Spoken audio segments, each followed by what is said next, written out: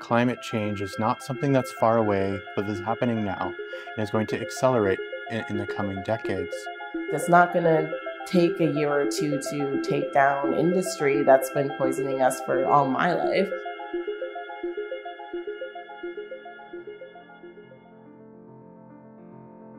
Climate informatics is an emerging area of research that's really trying to take advantage of um, a lot of technology changes in, in the recent decades. So we're seeing all sorts of opportunities coming from artificial intelligence, uh, new kinds of sensors, um, remote sensing technologies like, like satellite imagery that are giving us a lot of new information about how climate change is currently impacting our cities and is going to continue to do so in, in the future. And so climate informatics is trying to figure out how do we best leverage those technologies to support uh, local decision making around climate adaptation.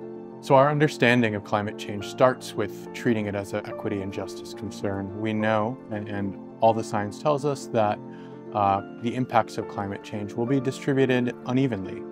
And, and the most marginalized communities and, and folks will be those who experience the effects most dramatically. Anytime we take the complicated sort of world around us and try to, try to represent it through numbers, um, we're making decisions, we're, we're making abstractions. These abstractions about the world are useful. They help us think at scale. They help us sort of understand problems that we wouldn't um, be able to otherwise. But, but we need to remember that, that when we do so, we're always making decisions. We're always choosing to measure some things, include some things, and not include others. And so what we're really trying to do at the Toronto Climate Observatory is sort of understand from a human-centered perspective what do different groups around the Greater Toronto Area need to know and want to know about what the region is going to be like in the next 30 to 50 years?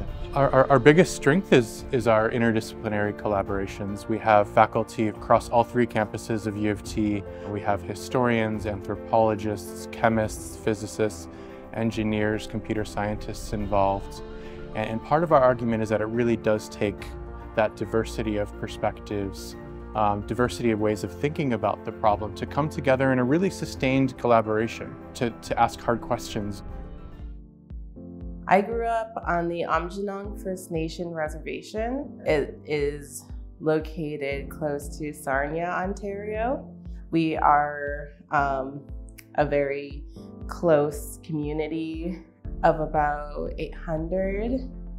We are also impacted by a lot of petrochemical facilities that surround our community on all sides.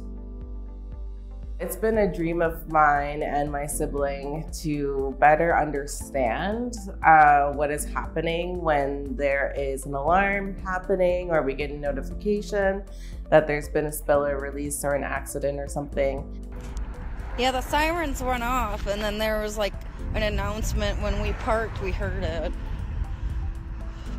I just could not believe how big that flame was. When there was a spill or release before Pollution Reporter app, you had to call this office uh, in Toronto. This person would interrogate you with all these questions when the community deserves the answers. Sometimes when the spiller release is really bad, um, there are legal challenges for that company, but the ministry investigates years after the actual incident and will come knocking on your door two years later. Now, uh, people can record what they can in real time and then they are also uh, able to like access it whenever they want for their own records. Community members are not expected to understand the whole workings of Chemical Valley. But like if you were to be standing on the reserves and you see something from a distance, like a flare, and you don't know what company that is, so you can't really report it, you can pull up your app and see which company is in that direction and who's responsible for it. What's more than inspiring for me about working with the Technoscience Research Unit here at University of Toronto is that I think we got the attention of oil companies and they should be worried about the tools we are going to walk away with. The changes that happen due to climate change cause things like extreme heat events, uh, unstable weather conditions. They increase the populations of vectors like ticks and mosquitoes, and all of these factors affect human health. AI machine learning methods allow for us to take advantage of all of this data and its complexity. And as a result, we can make our analyses more powerful, more accurate, and they better represent the changes that we see in our environment. In my research, we take data on people uh, from all different sources, healthcare interactions, demographic data, social, economic data.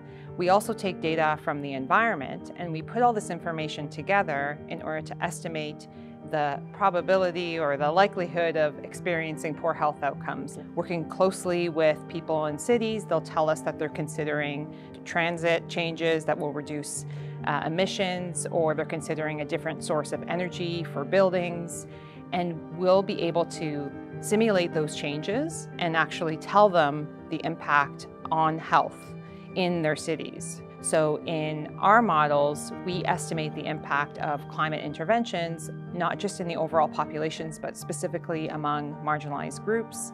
And we show the impact of special attention to those groups how it can reduce some of the disparities that we see in society. It's a core part of all of our outputs of our models and in our discussions with decision makers using these models.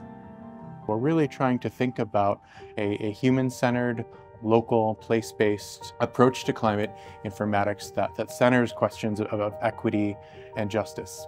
We've seen uh, very clearly how powerful data can be in um, ensuring that policies are enacted this this data sovereignty is more than just Aamjiwnaang. It's it's every other community out there, and the and those companies are the same companies impacting us all.